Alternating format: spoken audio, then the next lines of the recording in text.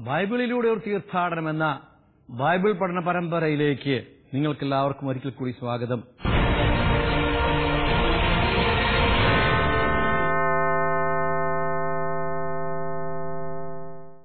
കഴിഞ്ഞ രണ്ടു മൂന്ന് ക്ലാസ്സുകളിലായി നാം പഠിക്കുവാൻ പഠിച്ചുകൊണ്ടിരുന്നത് പ്രക്കോസിന് സുവിശേഷം പതിനൊന്നാം അധ്യായം പന്ത്രണ്ട് മുതൽ ഇരുപത്തിയാറ് വരെയുള്ള വാക്യങ്ങളായിരുന്നു. രണ്ട് സംഭവങ്ങളാണ് സുവിശേഷകൻ അവിടെ വിവരിക്കുന്നത് ഒന്ന് ഫലങ്ങൾ കായ്ക്കാത്ത അത്തിവൃക്ഷത്തെ ശപിക്കുന്നത്. അതുപോലെ അവിശുദ്ധമാക്കപ്പെട്ട ദേവാലയത്തെ ശുദ്ധീകരിക്കുന്നത്. ഈ രണ്ട് സംഭവങ്ങളും ഒരുമിച്ച് ഇടകലർത്തിയാണ് മർക്കോ സുവിശേഷകൻ തന്റെ ഗ്രന്ഥത്തിൽ അവതരിപ്പിച്ചിരിക്കുന്നത്.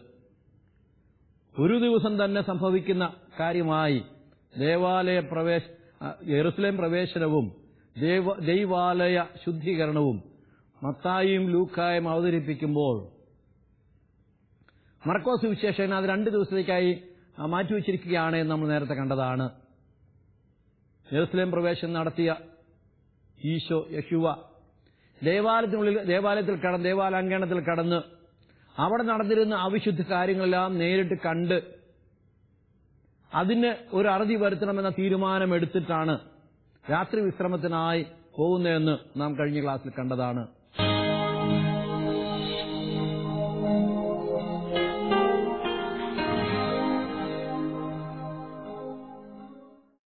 ആ തീരുമാനം നടപ്പിലാക്കാൻ വേണ്ടി അടുത്ത ദിവസം വരുന്ന വഴിയിലാണ് അവിടത്തേക്ക് വിശന്നതും. പഴമനുഷ്യ അത്തിവൃക്ഷത്തിന്റെ അടുക്കൽ പോയതും. ആ അത്തിവൃക്ഷത്തിൽ ഫലങ്ങൾ കാണാത്തതുകൊണ്ട് അതിനെ ശപിക്കാനിടയായതും അതിന്റെ ആ അനന്തരഫലം അവിടെ ഉടനെ സംഭവിക്കുന്നില്ല. ഈശോ തന്റെ ശിഷ്യന്മാരോടൊപ്പം രണ്ടാം ദിവസം ശേഷുല നഗരത്തിലെത്തി. ആ ദേവാലയത്തിനുള്ളിൽ കടന്നു. ദേവാലയ അങ്കണത്തിനുള്ളിൽ കടന്നു. അവിടെയാണ് വലിയൊരു കാര്യം ചെയ്തത്. അവിടെ നടന്ന നടന്നിരുന്ന ക്രയവിക്രയങ്ങൾക്ക് ഒരറുതി വരുത്താൻ അവിടുന്ന് ചില കാര്യങ്ങൾ ചെയ്തു. മൃഗങ്ങളെ വിറ്റിരുന്നവരെ പുറത്താക്കി മൃഗങ്ങളെയും പക്ഷികളെല്ലാം വിറ്റിരുന്നവരെ പുറത്താക്കി നാണയമാറ്റക്കാരുടെ മേശ തട്ടിമറിച്ചിട്ടു. മൃഗങ്ങളെല്ലാം പക്ഷികളെ വിറ്റിരുന്നവരുടെ ഇരിപ്പിടങ്ങൾ മറിച്ചിട്ടു. ഇത്രയെല്ലാം സംഭവങ്ങൾ ദൈവാലയ അധികാരികളുടെ മൂക്കിന് കീഴെ തന്നെ നടത്തിയിട്ടും അവരാരും അതിൽ ഇടപെട്ടിട്ടില്ലോ എന്ന് വായനക്കാരായ നമുക്കെല്ലാം അത്ഭുതം തോന്നാം. കാരണം യേശു സാപത്തിനത്തിൽ യാതൊരു കായിക അധ്വാനവും കൂടാതെ ഒരു വാക്കുകൊണ്ട് ഒരു രോഗിയെ സുഖപ്പെടുത്തിയപ്പോൾ അതിനെ എതിർത്ത യഹൂദര് യഹൂദ അധികാരികൾ ഒരു വിപ്ലവം പോലെയുള്ള കാര്യം ഈശോ ആ ദൈവാലയ അങ്കണത്തിൽ ചെയ്തിട്ടും അവരാരും അതിൽ ഇടപെടുകയോ തടയുകയോ ചെയ്തില്ല. എന്താണ് അതിന് കാരണം? ഈ ചോദ്യത്തോടു കൂടിയാണ് കഴിഞ്ഞ ദിവസത്തെ ക്ലാസ് നമ്മൾ അവസാനിപ്പിച്ചത്. എന്തുകൊണ്ടാണ് ഇത്ര വലിയൊരു സംഭവം? അവിടെ ദൈവാലയ അങ്കണത്തിൽ നടത്തിയിട്ടും എന്തുകൊണ്ടാണ് അവരാരും അതിലിടപെടാതിരുന്നത്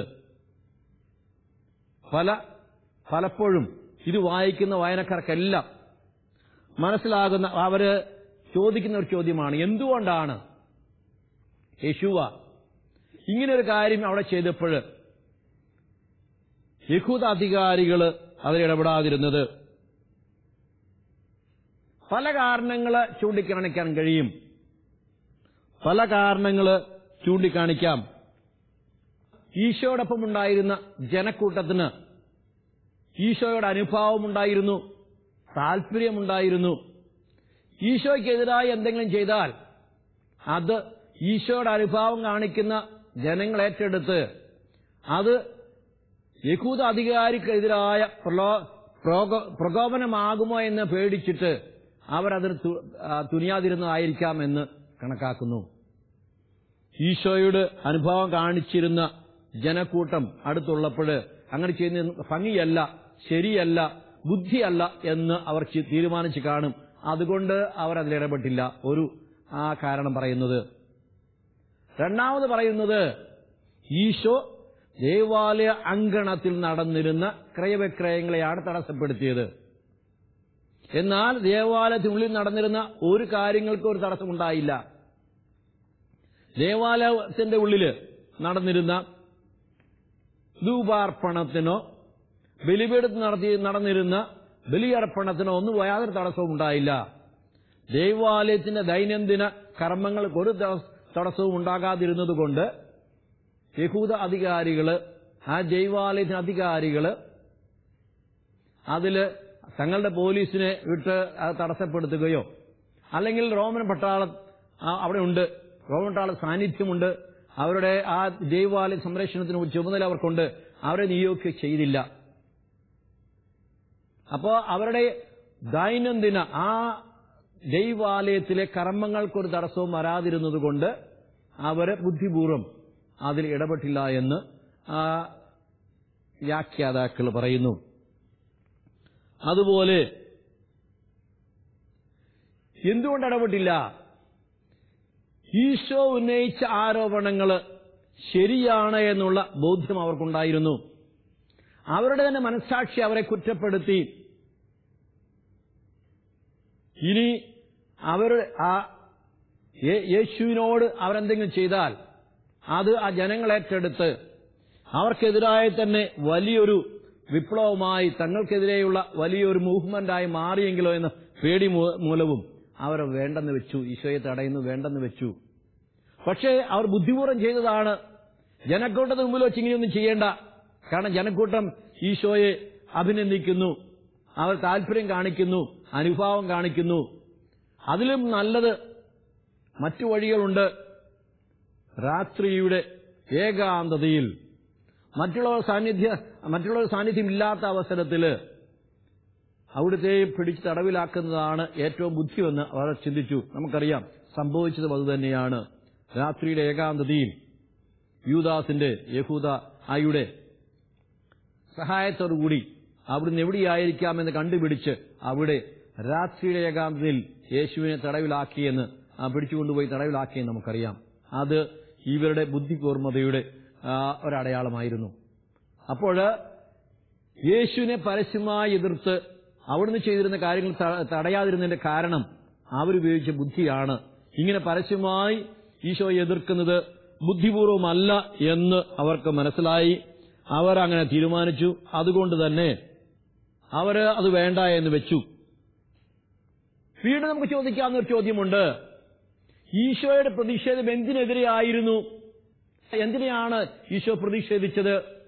പല കാരണങ്ങൾ വ്യാഖ്യാതാക്കൾ പണ്ഡിതരെ ചൂണ്ടിക്കാണിച്ചിട്ടുണ്ട്.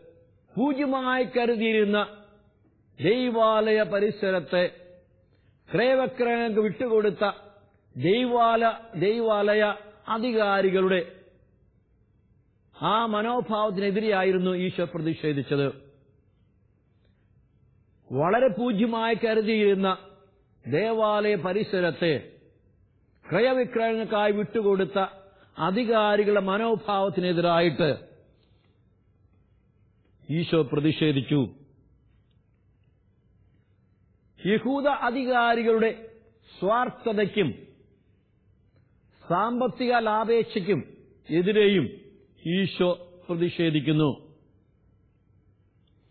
അതുപോലെ തന്നെ കച്ചവടക്കാർ നടത്തിയിരുന്ന കൊള്ള ലാഭത്തിനെതിരെയായിരുന്നു ഈശോയുടെ പ്രതിഷേധമെന്ന് ചിലർ പറയുമ്പോൾ മറ്റു ചിലർ പറയുന്നു പാവങ്ങളെ അവർ ചൂഷണം ചെയ്തിരുന്നു.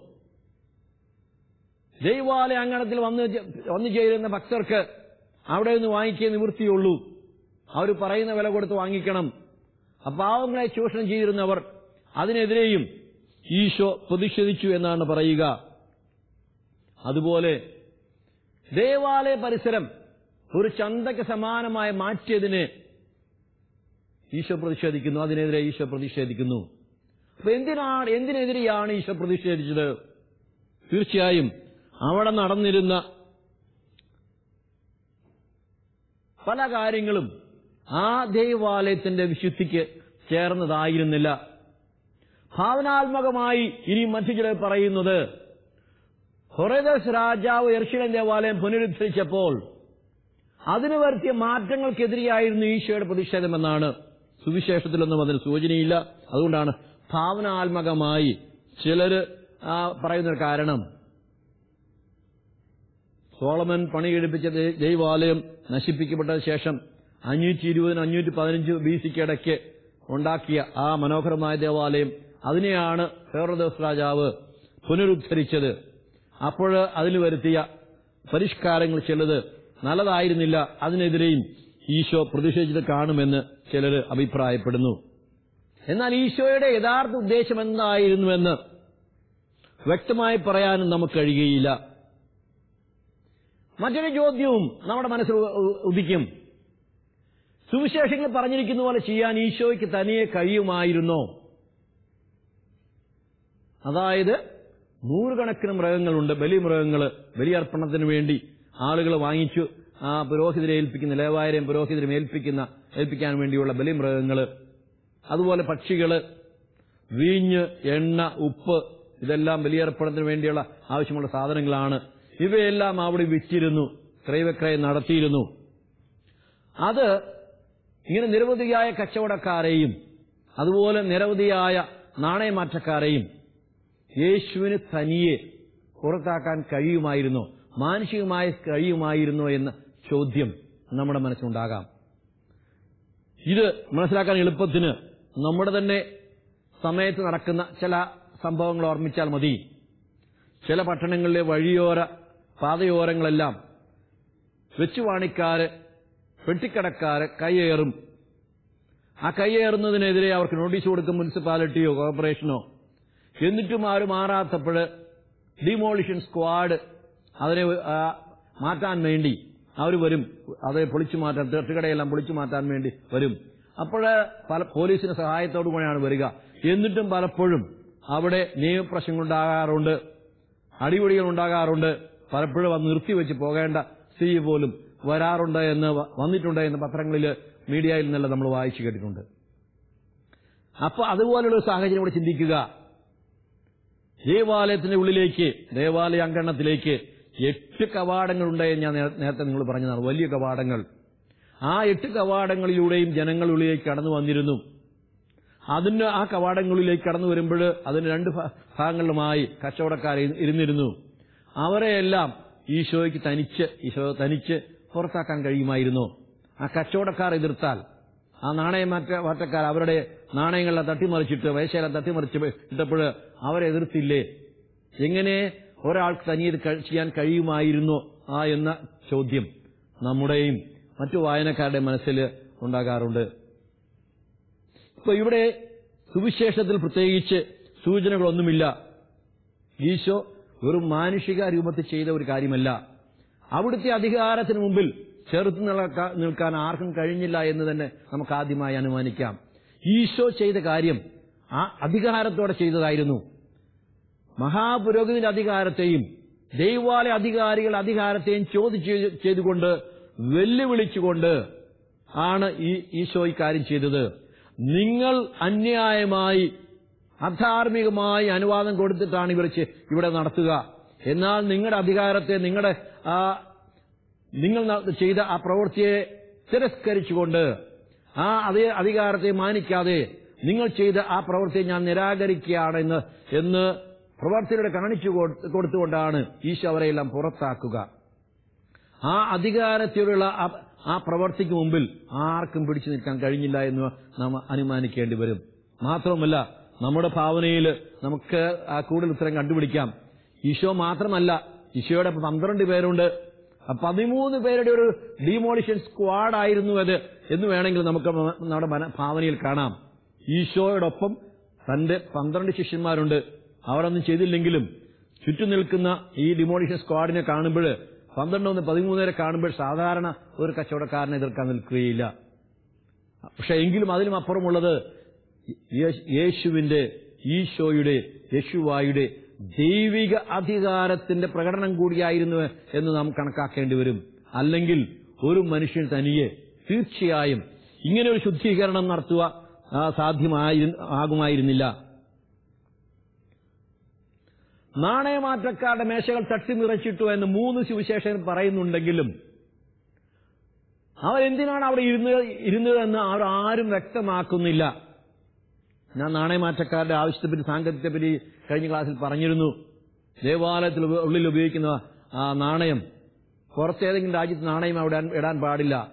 എന്തിനാണ് ദേവാലയത്തിൽ നാണയം ഇടുന്നത്? അവർക്ക് പ്രത്യേക നികുതി ഉണ്ടായിരുന്നു.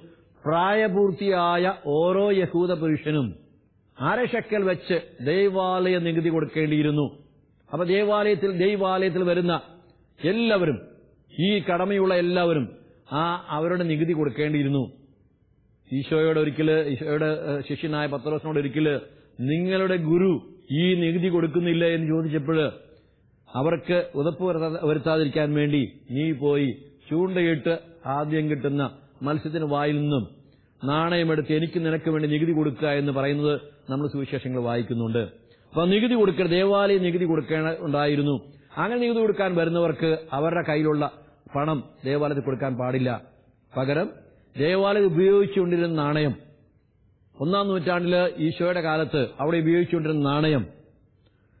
ദേവാലയ നാണയത്തോട് ഏറ്റവും അടുത്തിരുന്ന സോർ സോറിലെ നാണയമായിരുന്നു എന്നാണ് കണക്കാക്കുക. സോർ എന്ന് പറയുന്നത് ഇന്ന് ലെബനോണിലുള്ള സ്ഥലമാണ്. ട്രയർ സൈഡൻ എന്ന സ്ഥലങ്ങൾ സോർ സീതോൻ എന്നാണ് ആ, പൗരസ്ഥിതിയിൽ പറയുക. അവിടെ ഉപയോഗിച്ചിരുന്ന നാണയം തന്നെ നാണയം യെറു- യെരുശലേം ദേവാലയം ഉപയോഗിക്കുന്ന നാണയത്തോടെ ഏറ്റവും സാമ്യം ഉണ്ടായിരുന്നുകൊണ്ട് അത് അവിടെ സ്വീകരിച്ചിരുന്നു. ആ നാണയമായിരിക്കാം മറ്റ് നാണയങ്ങളെ വാങ്ങിച്ചിട്ട് പകരമായി നാണയം മറ്റക്കാർ കൊടുത്തിരുന്നത് എന്ന് അന്നാണ് പണ്ഡിതന്മാർ കണക്കാക്കുക. പല വ്യാഖ്യാതാക്കളും ദൈവാലയ ശുദ്ധീകരണത്തിന്റെ ചരിത്രപരതയെപ്പറ്റി സംശയാലുക്കളായിരുന്നെങ്കിലും ഹിസ്റ്റോറിസിറ്റിയെപ്പറ്റി ആധുനിക വ്യാഖ്യാതാക്കൾ ആരും തന്നെ അതിന്റെ ഹിസ്റ്റോറിസിറ്റിയെ സംശയിക്കുന്നില്ല. അതിന്റെ വിശദാംശങ്ങൾ വരുമ്പോൾ അതിന്റെ വിശദീകരണങ്ങളാണ് നമ്മൾ നൽകുക. പതിനൊന്നാം അധ്യായം പതിനഞ്ചാം വാക്യത്തിൽ ദേവാലയ ശുദ്ധീകരണത്തെ പറ്റി പറയുന്നു. അവിടുന്ന് ദേവാലയത്തിൽ പ്രവേശിച്ച് അവിടെ വിൽക്കുകയും വാങ്ങുകയും ചെയ്തിരുന്ന പുറത്താക്കാൻ തുടങ്ങി. അവിടെ ഒരു ഒരു കറക്ഷൻ ആവശ്യമുണ്ടോ എന്ന് തിരുത്തൽ ആവശ്യമുണ്ടോ എന്ന് നിങ്ങളോട് ഇന്നലെ പറഞ്ഞതാ ഇന്നലെ കഴിഞ്ഞ ക്ലാസ്സിൽ പറഞ്ഞതാണ്. ദേവാലയത്തിലല്ല ദൈവാലയ അങ്കണത്തിലാണ് എന്ന് മാറ്റണം. അതിന്റെ വാക്കുകൾ പറഞ്ഞു രണ്ട് വാക്കുകൾ കഴിഞ്ഞ ക്ലാസ്സിൽ പറഞ്ഞിരുന്നു. ഹീറോൻ അത് മുപ്പത്തിനാല് ഏക്കർ സ്ഥലം വിസ്തീർണത്തിലുള്ള ആ ടെമ്പിൾ മൗണ്ടിനെ മുഴുവൻ സൂചിപ്പിക്കാൻ വേണ്ടി ഉപയോഗിച്ചിരുന്നതാണ് ടെമ്പിൾ മൗണ്ട്. അത് ടെമ്പിൾ എന്നാക്കി ഉപയോഗിക്കുമ്പോഴാണ് പ്രശ്നം. അതുപോലെ നാവോസ് എന്ന വാക്ക് അത് ദേവാലയം പ്രോപ്പർ ദ ടെമ്പിൾ പ്രോപ്പർ അതിനെ ഉദ്ദേശിച്ച് ഗ്രീക്കിൽ ഉപയോഗിച്ച വാക്ക് നാവോസ്. ഇതിനെ രണ്ടിനെയും ഇംഗ്ലീഷിൽ ടെമ്പിൾ എന്നും ടെമ്പിൾ എന്ന് വിവർത്തനം ചെയ്തുകൊണ്ട് ഇംഗ്ലീഷിൽ നിന്ന് മലയാളത്തിലേക്ക് തർജമ ചെയ്ത മലയാളം ബൈബിളും ഇതുപോലെ തന്നെ ചെയ്തു. അതുകൊണ്ടാണ് സാധാരണ മനുഷ്യർക്കെല്ലാം ഈ തെറ്റിദ്ധാരണയുണ്ടായത് ഈശോ ദേവാലയത്തിനുള്ളിൽ പ്രവേശിച്ചു. ദേവാലയത്തിനുള്ളിലാണ് ക്രയവിക്രയങ്ങൾ നടന്നത്. ഒരിക്കലും അങ്ങനെ അത് ഒരു സുവിശേഷകനും ആരും ചിന്തിക്കാത്ത തെറ്റായ ധാരണയാണ്. തീർച്ചയായിട്ടും ഇത് കേൾക്കുന്നവർക്കുള്ള ആ തെറ്റിദ്ധാരണ മാറുക. ഒരിക്കലും ക്രയവിക്രയങ്ങൾ ദേവാലയത്തിനുള്ളിൽ നടന്നിട്ടില്ല. ദേവാലയത്തിനുള്ളിൽ നിന്നല്ല ഇവരെ പുറത്താക്കിയത്. അതുപോലെ ഈശോയും ഒരിക്കൽ പോലും ദേവാലയത്തിനുള്ളിൽ പ്രവേശിച്ചിട്ടില്ല. കാരണം കഴിഞ്ഞ ദിവസം ഞാൻ പറഞ്ഞതാണ് ആത്മാനായിരുന്ന ഈശോയ്ക്ക് ദേവാലയ ദൈവാലയത്തിനുള്ളിൽ കടക്കുവാൻ കഴിയുമായിരുന്നില്ല. യഹൂദ പുരോഹിതൻ മാത്രമാണ് ദൈവാലയത്തിനുള്ളിൽ അതും സാധാരണ പുരോഹിതർക്ക് ഹെക്കാൽ എന്ന് പറയുന്ന വിശുദ്ധ സ്ഥലത്തും പ്രവേശിക്കാൻ അനുവാദമുണ്ടായിരുന്നുള്ളൂ. അതുപോലെ മഹാപുരോഹിതന് വർഷത്തിൽ ഒരിക്കൽ മാത്രം പ്രവേശിക്കാവുന്ന സ്ഥലമാണ് ദവീർ. ഹോളി ഓഫ് ഹോളീസ് വിശുദ്ധിയുടെ വിശുദ്ധ സ്ഥലം. ഇതുപോലെ കറക്ഷൻ ആവശ്യമുള്ള ഒരു കാര്യമാണ് വാക്കാണ്. ഞാൻ ഇന്നലെ കഴിഞ്ഞ ദിവസം സൂചിപ്പിച്ചു ദേവാലയം. അത് നമ്മൾ ദൈവാലയം എന്ന് തന്നെ പറയേണ്ടതാണ്. ദേവന്റെ ആലയമല്ല ക്രൈസ്തവരെ സംബന്ധിച്ചോളം ദൈവത്തിന്റെ ആലയമായതുകൊണ്ട് നമ്മൾ ദൈവാലയം ഇന്ന് അങ്ങനെ ആ പുതിയ ആ രീതി അല്ലെങ്കിൽ ഈ കറക്ഷൻ പലരും ചെയ്തു വരുന്നുണ്ട് പറയുമ്പോഴെല്ലാം ദൈവാലയം അന്ന് പറയുവാനും എഴുതി വെക്കാനും നമ്മൾ ശ്രമിക്കാറുണ്ട്. പള്ളിയുടെ ഓരോ ഇടവപ്പള്ളിയുടെ ഫ്രണ്ടിലും ഫൊറോണ ദേവാലയം സെന്റ് മേരീസ് ദേവാലയം. അത് ദൈവാലയം എന്ന് ആക്കി മാറ്റുന്നതാണ് ആ ഉത്തമമെന്ന് ആ, ഓർമ്മിപ്പിക്കുവാൻ ഞാൻ ആഗ്രഹിക്കുകയാണ്. അപ്പോൾ ദൈവാലയത്തിലല്ല ദൈവാലയ അങ്കണത്തിലാണ് ക്രയവിക്രയങ്ങൾ നടന്നിരുന്നതും ഈശോ ആ ദൈവാലയ അങ്കണത്തിൽ നിന്നാണ് ക്രയവിക്രയം നടത്തിയിരുന്നവരെ പുറത്താക്കിയതെന്നും നാം കൃത്യമായിട്ട് അറിഞ്ഞിരിക്കേണ്ടതാണ്. ഈശോ ഒരിക്കൽ പോലും ദൈവാലയത്തിനുള്ളിൽ കടന്നിട്ടില്ല. കാരണം അവിടുന്ന് പുരോഹിതനായിരുന്നില്ല. ബൈബിൾ പണ്ഡിതരിൽ പ്രധാനപ്പെട്ട ഒരാളാണ് ബുൾട്ടുമാൻ. അദ്ദേഹത്തിന്റെ അഭിപ്രായത്തിൽ പതിനൊന്നാം അധ്യാ- അധ്യായം പതിനഞ്ച് പതിനെട്ട് എന്ന പത്തൊമ്പത് വാക്യങ്ങൾ പിന്നീട് എടുത്ത് സംശോധകര് സംയോജകര് ചേർത്തതായിരിക്കാമെന്ന് കണക്കുകൂട്ടുന്നു. അതുപോലെ പതിനേഴാം വാക്യത്തിൽ പതിനൊന്നാം അധ്യായം പതിനേഴാം വാക്യത്തിൽ ഉദ്ധരണികളും പിന്നീട് ചേർക്കപ്പെട്ടതായിരിക്കുമെന്ന് ആ, അദ്ദേഹം കരുതുന്നു. പതിനേഴാം വാക്യത്തിലെ ഉദ്ധരണികൾ നമ്മൾ കഴിഞ്ഞ ദിവസം കണ്ടതാണ്. എന്റെ ഭവനം എല്ലാ ജനതകൾക്കും വേണ്ടിയുള്ള പ്രാർത്ഥനാലയം എന്ന് വിളിക്കപ്പെടണമെന്ന് എഴുതപ്പെട്ടിട്ടില്ലേ? അത് ഏഷ്യയുടെ പുസ്തകം അൻപത്തിയാറാം അധ്യായം ഏഴാം വാക്യമാണ് മൂന്നാം ഏഷ്യ ഏഷ്യ എന്ന് പറയുന്ന പുസ്തകം.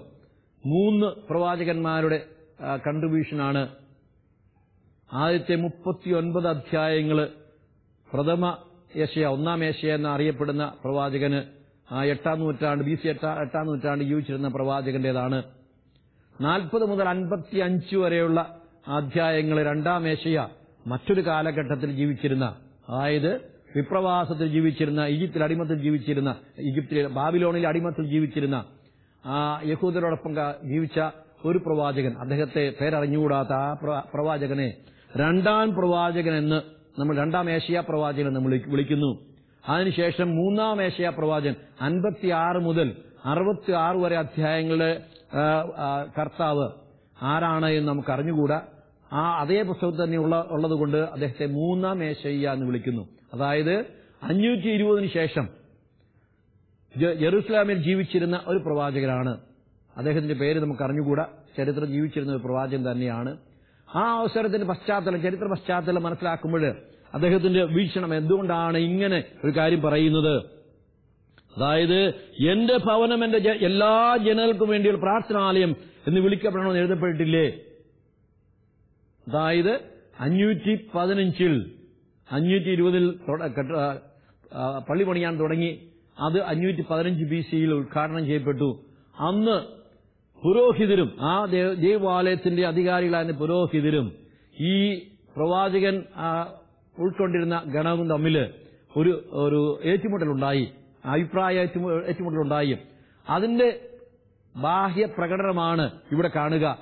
ഈ പ്രവാചകൻ ദൈവാലയ അധികാരികളുടെ മനോഭാവത്തെ എതിർത്തുകൊണ്ട് അവരെ പലരെയും ദൈവാലയത്തിന് ഒഴിവാക്കിയപ്പോഴ് അതിനെ എതിർത്തുകൊണ്ട് മൂന്നാം ഏഷയ പ്രവാചൻ പറയുകയാണ് എന്റെ ഭവനം എല്ലാ ജനതകൾക്കും വേണ്ടിയുള്ള പ്രാർത്ഥനാലയം എന്ന് വിളിക്കപ്പെടണം. അങ്ങനെ തുറന്നൊരു മനസ് സെക്കൻഡ് ആഴ്ച രണ്ടാമത്തെ ആഴ്ചയും മൂന്നാമത്തെ ഐശ്യ- ഇങ്ങനെ തുറന്ന മനസ്ഥിതിയുള്ള ആളായിരുന്നു. Openness to the whole world അങ്ങനെ കാണിക്കുന്ന രണ്ട് പ്രവാചകരാണ്. രണ്ടാം ഏഷ്യ പ്രവാചകനും മൂന്നാം ഏഷ്യ പ്രവാചകനും. ആ മൂന്നാം ഏഷ്യ പ്രവാചകന്റെ പുസ്തകത്തിൽ നിന്ന് അൻപത്തിയാറാം അധ്യായം ഏഴാം വാക്യമാണ് ആദ്യമായിട്ട് പതിനേഴാം വാക്യത്തിൽ സുവിശേഷം ഉദ്ധരിച്ചിരിക്കുന്നത്. അതുപോലെ രണ്ടാമതൊരു ഒരു ഉദ്ധരണി കൂടി അവിടെ ഉണ്ട്. പതിനേഴാം വാക്യത്തിൽ നിങ്ങൾ അതിന് കള്ളന്മാരെ ഗുഹയാക്കിയിരിക്കുന്നു. ജറമയ പ്രവാചകന്റെ പുസ്തകത്തിലെ ഏഴാം അധ്യായം പതിനൊന്നാം വാക്യം ഉദ്ധരിച്ചിരിക്കുകയാണ്. അതിന് ചരിത്ര പശ്ചാത്തലം മറ്റൊന്നാണ്. ജറമ്യ പ്രവാചകന്റെ കാലത്ത് അന്നത്തെ ആളുകൾ വിചാരിച്ചിരുന്നത് യഹോവായുടെ ദൈവാലയം അത് അവിടുത്തെ പ്രാർത്ഥനാലയം അവിടുത്തെ പേരിലെ പ്രാർത്ഥനയായി നിലനിരുന്ന യെറുഷല നഗരം ഒരു ശക്തിക്കും കീഴടക്കാൻ കഴിയുകയില്ല. അത് യഹോവായുടെ സംരക്ഷണത്തിലാണ്. യഹോവയുടെ സംരക്ഷണത്തിലുള്ള യെറുഷലം പട്ടണം കീഴടക്കാൻ ഒരു ശക്തിക്കും കഴിയുകയില്ല. ശരിയാണ് യഹോവ യാഹവെ ഇങ്ങനൊരു സംരക്ഷണം ആ, വാഗ്ദാനം ചെയ്തിരുന്നു. പക്ഷേ അത് ഉപാധികളില്ലാത്ത ഒരു വാഗ്ദാനമായിരുന്നില്ല. നിങ്ങൾ എന്ത് ചെയ്താലും എന്ത് അധർമ്മത്തിൽ ജീവിച്ചാലും ഞാൻ നിങ്ങളെ സംരക്ഷിക്കുമെന്ന് യഹോവ ഒരിക്കലും പറഞ്ഞിട്ടില്ല. ഉപാധികളുണ്ട്. യഹോവയോട് വിശ്വസത പുലർത്തിയാൽ ധാർമ്മിക ജീവിതം ജീവിതം നയിച്ചാൽ അവരെ സംരക്ഷിക്കും. അല്ലെങ്കിൽ ഷീലോവായിലെ ഷീലോയിലെ ദൈവാലയം അല്ലെങ്കിൽ ആരാധന കേന്ദ്രം യഹോവ കൈവിട്ടപ്പോൾ ഫിലിസ്തീർ അത് വന്ന് ഇടിച്ചു നിരത്തി. വാഗ്ദാന വേളം എടുത്തുകൊണ്ട് പോയി. ഷീലോയിൽ ആ ആരാധന കൈവിട്ട പോലെ തന്നെ യഹോവ വീണ്ടും അവിടുത്തെ നാമത്തെ സ്ഥാപിച്ചിരിക്കുന്ന ദേവാലയം കൈവിടുമെന്നുള്ള ആ ബോധ്യം ജറമയ പ്രവാചകനുണ്ടായിരുന്നു. അദ്ദേഹം ഒരിക്കൽ ദൈവാലയ അങ്കണത്തിലേക്ക് ചെന്നിട്ട് പറഞ്ഞു നിങ്ങൾ എറിഷിലായും എറിഷിലായും എന്ന് പറഞ്ഞു വിചാരിച്ചുകൊണ്ട് കാര്യമില്ല.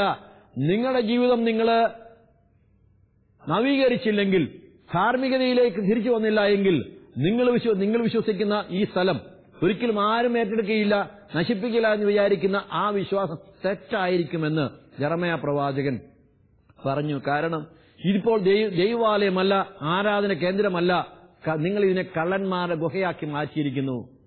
നിങ്ങളുടെ ഈ മനോഭാവം രീതിയും ജീവിത രീതി മാറിയില്ലെങ്കിൽ ഇത് നശിപ്പിക്കപ്പെടും എന്ന് അദ്ദേഹം സധൈര്യം വിളിച്ചു പറഞ്ഞു.